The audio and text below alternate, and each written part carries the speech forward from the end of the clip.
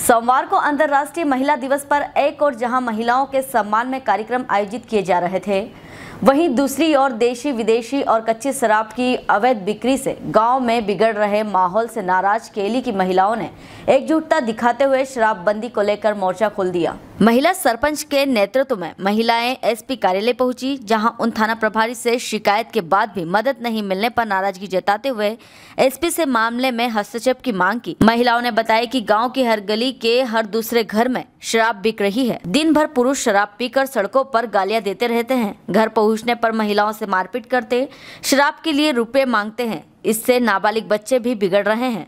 महिलाओं ने चेतावनी दी है कि स्थानीय प्रशासन मदद नहीं करेगा तो भोपाल तक शिकायत लेकर जाएँगे। खरगोन से ब्यूरो की रिपोर्ट। सुनीता मुजालदी कहाँ से क्या समस्या लेके आप लोग? मेरे पति शराब पी पी के पूरे खत्म हो गया। मेरे चार लड़कियाँ हैं एक लड़का है तब उनका पेट कैसे भरना मेरे पास खेती बाड़ी कुछ भी नहीं है।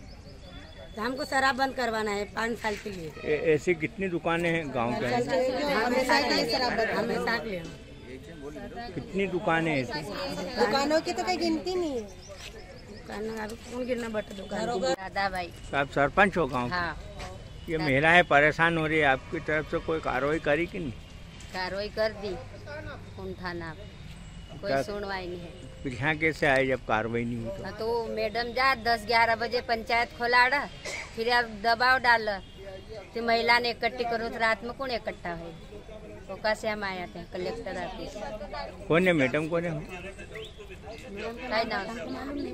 नाम नहीं पता। क्या नाम है आपका? राधा भाई ठाकुर।